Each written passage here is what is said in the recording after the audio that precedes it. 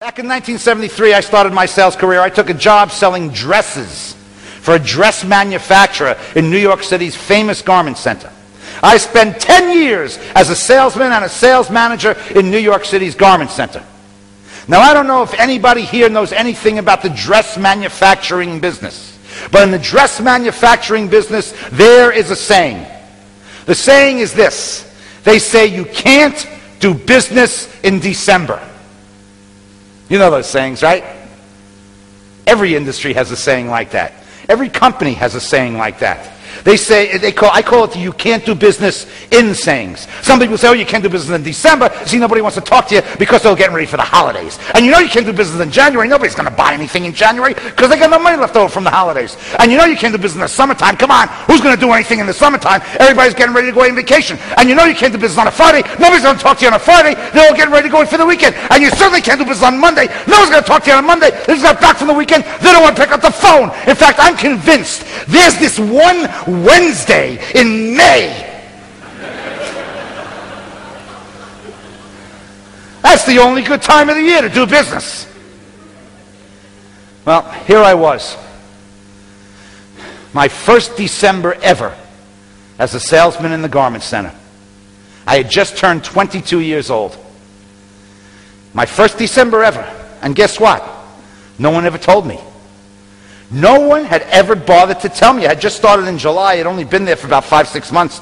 No one bothered to tell me that you can't do business in December. I didn't know. So me, like a dope, I'd get in early every morning. And I'd pack up a bag with samples.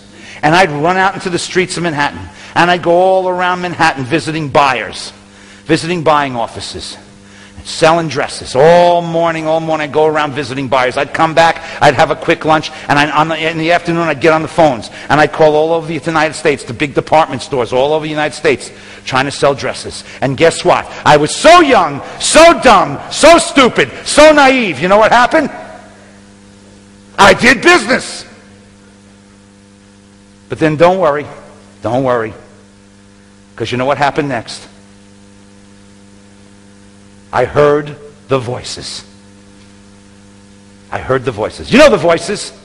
I'm sure you've all heard the voices. The voices of all the people who are so ready, willing, and able to tell us it can't be done.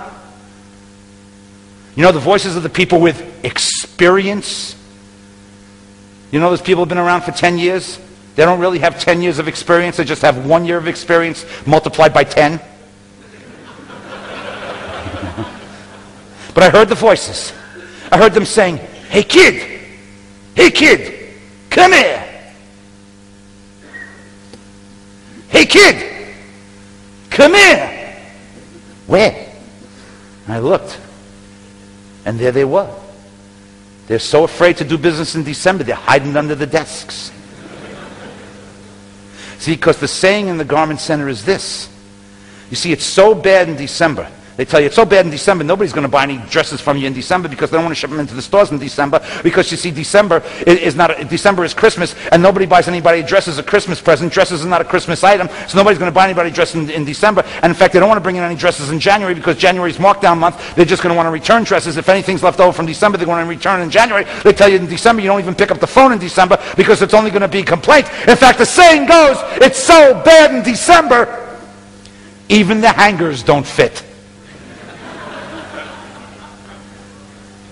So now I'm saying, where are, come here, come here. I look under the desk. There they are. They're hiding under the desk with the coffee cups. You know who those guys are that always tell you can't be done? I call them the coffee cup brigade. You know who they are, the coffee cup brigade? They're the people that can tell you, that have all the advice for you, always tell you what to do because they know everything. It's just that they never actually do anything. You ever notice those people that can tell you everything you're supposed to do and are experts on everything but never actually do anything? You see why they don't do anything because they're busy walking around with a coffee cup all day. They're walking around like this with the coffee cup. They're the coffee cup brigade. And they can tell you everything to do. They never actually do anything because they're too busy walking around with the coffee cup. In fact, if you notice, if you ever take the coffee cup out of the hand, their arm is permanently bent in this position from walking around with the coffee cup all day. So now the coffee cup brigade is calling me, and I'm going, what, what's the, what are you guys doing under there? They said, come here, come here, come here, come here. I said, what's the matter? They said, come here, kid. What, what, what? They said, kid, are you stupid? I said, what do you mean? They said, you can't do business in December. I said, what? They said, you can't do business in December. I said, you can't? They said, no, nobody does business in December. I said, they don't? I said, why not? They said, don't you understand, kids? Nobody buys anybody dresses in December. Dresses is not a Christmas item. They're not going to want to be bringing any dresses into the stores in December because not a Christmas item. Just going to return dresses. They don't want to bring any dresses in January. January's markdown month. They're just looking to ship back dresses. Don't even pick up the phone, kid. I said, why not? They said, it's only going to be a complaint. I said, oh my God. They said, you know what, kid? It's so bad in December. Even the hangers don't fit. I said, oh my God. But don't worry, folks. Don't worry. Because by the next December, I knew. I was now a veteran. I now knew what I wasn't supposed to know. I now knew that you couldn't do business in December. And the next December, guess what? Guess what I did? What do you think happened? No business because I listened to all those other people.